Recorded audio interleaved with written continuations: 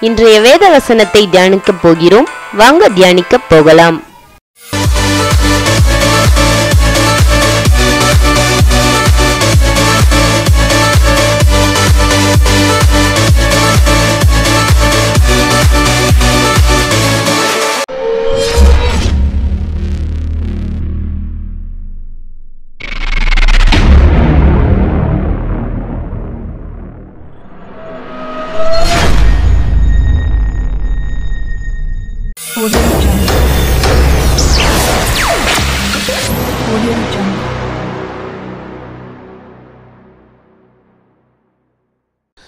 கிறிஸ்துவுக்குள் பிரியமானவர்களே நமது ஆண்டவராய் இயேசு கிறிஸ்துவின் நாமத்தினால் உங்களை வாழ்த்துகிறோம் Beloved in Christ, we greet you all in the name of our Lord Jesus Christ. நீதிமொழிகளின் புஸ்தகம் பத்தாவது அதிகாரம் பதினோராவது வசனம் The book of Proverbs, chapter 10, verse 11. நீதிமானுடைய வாய் ஜீவ ஊற்று The mouth of the righteous is a fountain of life. இன்று நாம் தோல்விகள் ஏமாற்றங்கள் இயலாமைகள் என பலவிதமான காரியங்களை சந்தித்துக் கொண்டிருப்போம் என்றால் Today, if you are facing helplessness, hopelessness, or failure, அதற்கு பல காரணங்கள் இருக்கலாம் there may be many reasons. ஆனால் அந்த காரணங்களில் பிரதான காரணம் என்னவென்றால் But the foremost reason for it, நம்முடைய வார்த்தையிலும் நாம் செய்த அறிக்கைகளுமே ஆகும் it is because of our confession and the words that we have uttered. நம்முடைய கடந்த காலத்தை திரும்பி பார்ப்போம் என்றால் If you turn around and look at your past, நம்முடைய கடந்த காலம் முழுவதும் all through your past, அநேக எதிர்மறையான வார்த்தைகளையும் அறிக்கைகளையும் நம்முடைய வாயினால் செய்திருப்பதை நாம் ஒத்துக்கொள்வோம் you will agree that you have confessed a lot of negativity. நம்முடைய தோல்விகள்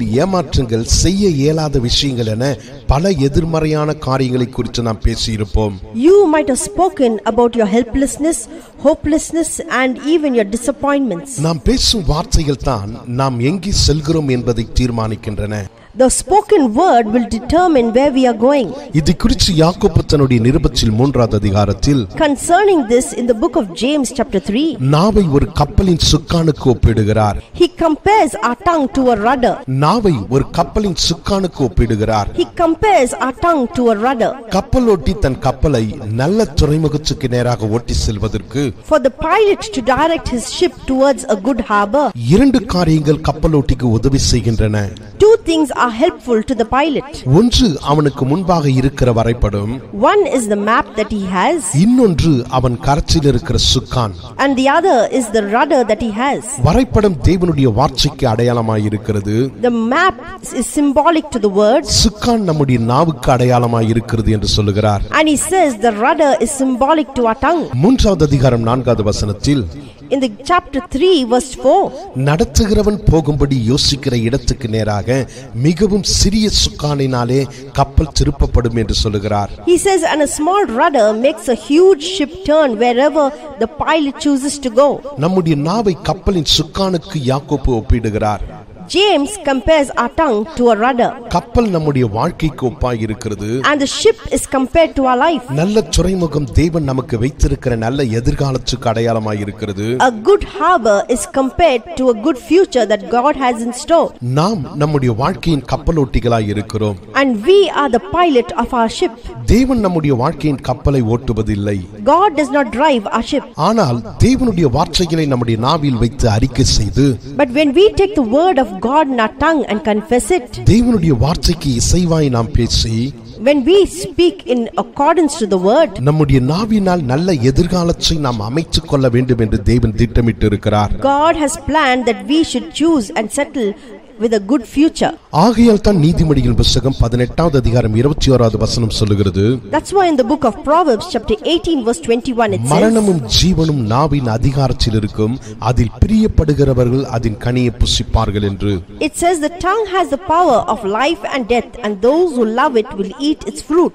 மேலும் ரோமர் கழுதின நிருபம் பத்தாவது அதிகாரம் பத்தாவது வசனத்தில் Further in the book of Romans, chapter 10, verse 10, நீதி உண்டாக இதயத்திலே விசுவாசிக்கப்படும் ரட்சிப்பு உண்டாக வாயினால் அறிக்கை செய்யப்படும் என்று வேதம் சொல்லுகிறது the Bible says, For it is with your heart that you believe and are justified, and it is with your mouth that you confess and are saved. என்னாகமத்தின் புஸ்தகம் பதிமூன்றாவது அதிகாரத்தை பார்ப்போம் என்றால் If you read from the book of Numbers, chapter 13, இந்த முக்கியமான சத்தியத்தை குறித்த தெளிவான ஒரு எடுத்துக்காட்டை நம்மால் காண முடியும் you can see a good example to understand this truth.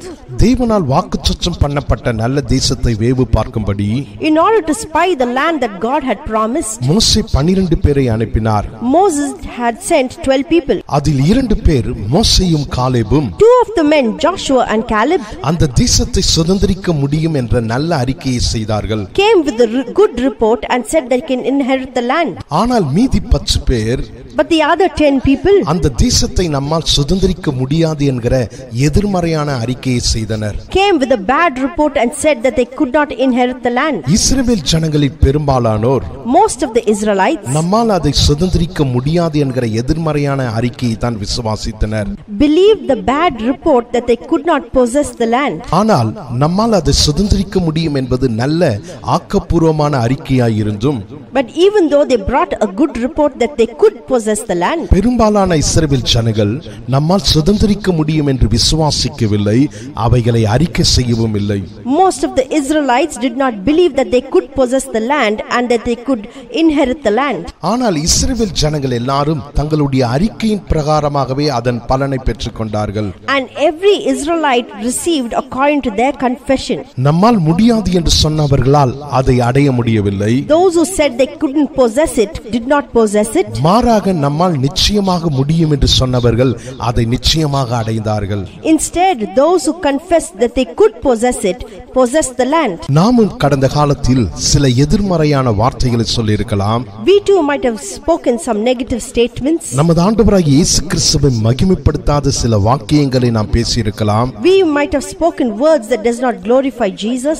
நம்மை முடக்கக்கூடிய ஏமாற்றங்களுக்கு நேராய் தோல்விகளுக்கு நேராய் நம்மை நடத்தக்கூடிய வார்த்தைகளை நாம் பேசியிருக்கலாம் We might have spoken words that would paralyze us and lead us towards defeat and failure. நம்முடைய தோல்விகளை நாம் அறிக்கை செய்திருக்கலாம் And we might have confessed our failures. அப்படி பேசியிருப்போம் என்றால் அப்படி அறிக்கை செய்திருப்போம் என்றால் And if we have spoken them and confessed them, அவைகள் தான் நம் பங்காய் இருக்கும் then that would be a portion. ஆனால் நாம் தேவனுடைய வார்த்தையை விசுவாசிப்போம் என்றால் தேவனுடைய வார்த்தையை அறிக்கை செய்வோம் என்றால் But if we would believe in the word of God and confess his word, தேவன் நம் பங்காய் இருப்பார் தேவனுடைய ஆசீர்வாதம் நம்முடைய பங்காய் இருக்கும் then God would be a portion and his blessings would be a portion. ஒருவேளை இதுவரை தோல்விகளையும் ஏமாற்றங்களையும் இயலாமைகளையும் பல எதிர்மறையான காரியங்களையும் நீங்கள் அறிக்கை செய்திருப்பீர்கள் என்றால் If you had been confessing all your negativity and your failures and your helplessness, அவைகளை உங்களுடைய வாயினால் பேசியிருப்பீர்கள் என்றால் if you have spoken them with your mouth, இன்று தேவனிடம் இவ்வாறு அறிக்கை செய்யுங்கள் today you have to confess this to God.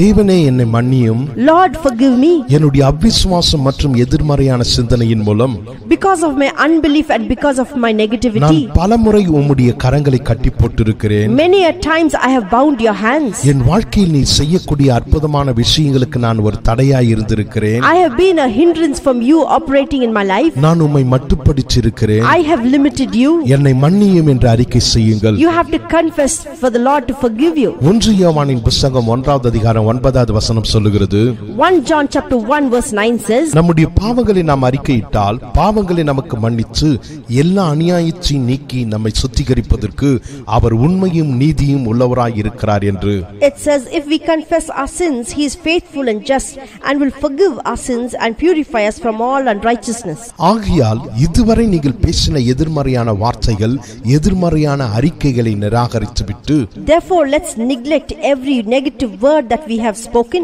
இன்று வாழ்ந்து கொண்டிருக்கும் இருள் மற்றும் தனிமை என்னும் பள்ளத்தாக்கிலிருந்து நீங்கள் வெளியே வருவதற்காக தேவனுக்கு நன்றி சொல்லி And let's thank God for removing us from every darkness and loneliness. எனக்குள் வாசம் செய்து என்னை பலப்படுத்துகிற கிறிஸ்துவினாலே எல்லாவற்றையும் செய்ய எனக்கு பலன் உண்டு என்று அறிக்கை செய்யுங்கள் And let's confess and say that I can do all things through Christ who strengthens me.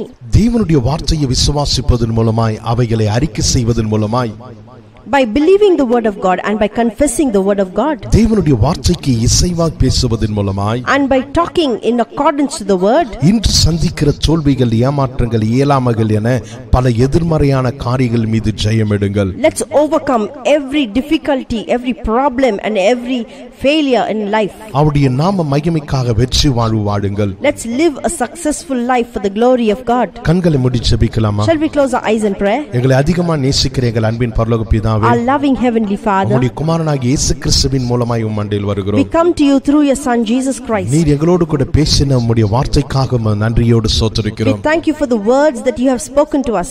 மரணத்தையும் ஜீவனையும் எங்களுடைய நாவின் அதிகாரத்தில் வைத்திருப்பதற்காக உம்மை சோத்திருக்கிறோம் We thank you because life and death are the power of our tongue. எங்களுடைய நாவு ஜீவ ஊற்றாய் இருக்கிறபடினால் உம்மை சோத்திருக்கிறோம் We thank you because our tongue is a, a fountain of life. நாங்கள் விசுவாசிக்கவும் அறிக்கை செய்யவும் நீர் கொடுத்திருக்கிற விலையேற பெற்ற வாக்குத்தத்தங்களுக்காக உம்மை நன்றியோடு We சோத்திருக்கிறோம் thank you for your precious promise to believe and to confess it. உம்முடைய வார்த்தைகளுக்கு இசைவாய் பேசி எங்களுடைய வாழ்வில் வெற்றி சிறக்கிறோம் We pray that we may talk in accordance to your word and be victorious. உம்முடைய நாமம் எங்கள் மூலமாய் மகிமைப்பட ஜெபிக்கிறோம் We pray that your name may be glorified through us. எல்லா கனத்தையும் மகிமையும் உமக்கு செலுத்துகிறோம். We give you all glory and honor. இயேசுவின் நாமத்தில் ஜெபிக்கிறோம். எங்கள் ஜீவனுள்ள நல்ல In பிதாவே. Jesus' matchless name we pray. Amen. Amen. கர்த்தர் உங்களை May ஆசீர்வதிப்பாராக God bless you. வணக்கம் நண்பர்களே. தமிழ் டாப் செய்யா யூடியூப் சேனல் மூலமாக உங்களை சந்திப்பதில் மகிழ்ச்சி அடைகிறேன். இன்றுதான் புதிதாக சேனலை பார்க்கிறீர்கள் என்றால் சப்ஸ்கிரைப் பண்ணுங்க லைக் பண்ணுங்க ஷேர் பண்ணுங்க. தொடர்ந்து சேனலை பாருங்க.